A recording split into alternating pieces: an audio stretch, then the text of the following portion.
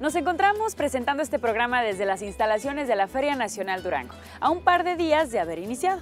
Y para disfrutar más de esta feria villista, puedes adquirir la pulsera Feria Club, donde te olvidarás de hacer filas, entrar las veces que quieras a las instalaciones de la feria, así como paseos en teleférico y túnel de minería. Además, puedes participar en rifas donde puedes ganar convivencias con tus artistas favoritos y todo esto por un costo de 100 pesos. La puedes adquirir en túnel de minería y en teleférico. La gran fiesta de los duranguenses, que año con año nos regala más y mejores ratos de esparcimiento familiar. Sin lugar a dudas, las instalaciones más bonitas y más grandes del país y con las mejores atracciones. Tu día desea seguir formando parte del festejo de fundación de la ciudad. Por eso venimos hasta aquí y por eso hoy estamos rifando el tercer DVD de valores. Así que no te quedes fuera y manda un mensaje con todos tus datos. Por WhatsApp o por texto, envía tu nombre y dirección. La parte de la ciudad desde donde nos ves es suficiente. Pide que se te inscriba en la rifa y listo. Durante la semana daremos a conocer a los ganadores. Y bueno, sigamos por lo pronto con esta celebración mientras vamos a ver el siguiente reportaje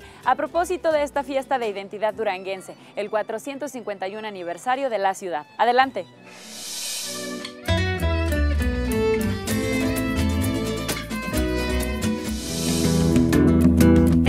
De la identidad duranguense de la Feria Nacional Villista Durango 2014, hay diferentes atractivos que se pueden disfrutar desde la entrada al recinto ferial. A través de la cartonería se refleja el arte mexicano con los alebrijes monumentales.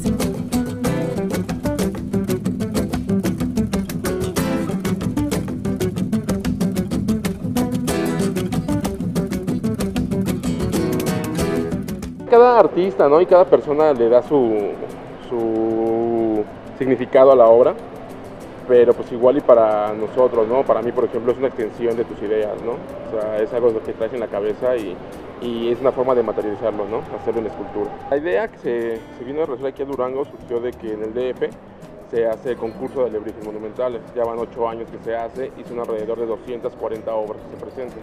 Entonces les pareció atractivo aquí este, traerlos a la, a la feria y pues más atractivo que los hicieran aquí mismo, ¿no? O sea, que sean los, los primeros alebrijes monumentales que se hacen para su desfile en un estado, ¿no? Es el primer estado que lo va a tener.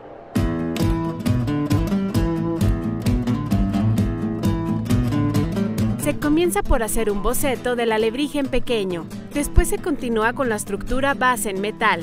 Esto le da el soporte a la forma. Se forra con la malla de gallinero para darle el volumen y posteriormente se procede al empapelado a base de papel periódico, papel craft y engrudo.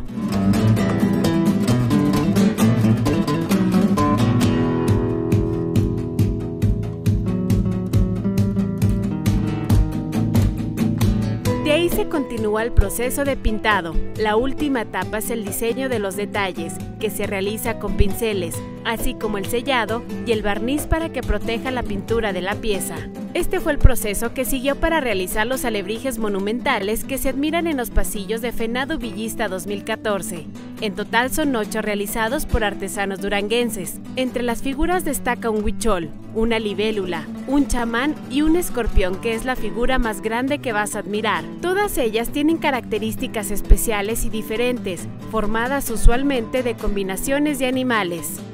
Bueno, aquí se lanzó una convocatoria en la cual se, se invitó a la gente a participar a realizar su, su monumental, no como concurso, sino con el simple hecho de participar en el desfile.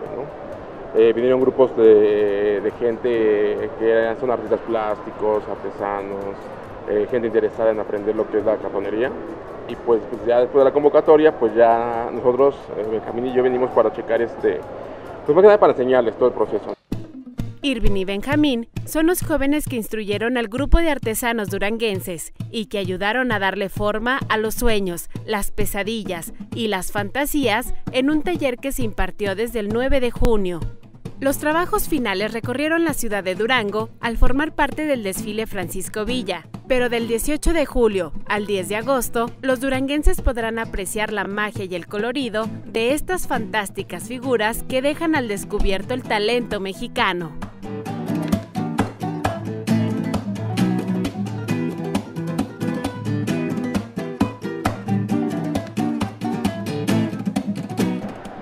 Bueno, pues invitamos a todos los duranguenses a que vengan aquí a la feria a conocer los alebrijes monumentales y chequen un poquito más de nuestra artesanía popular mexicana.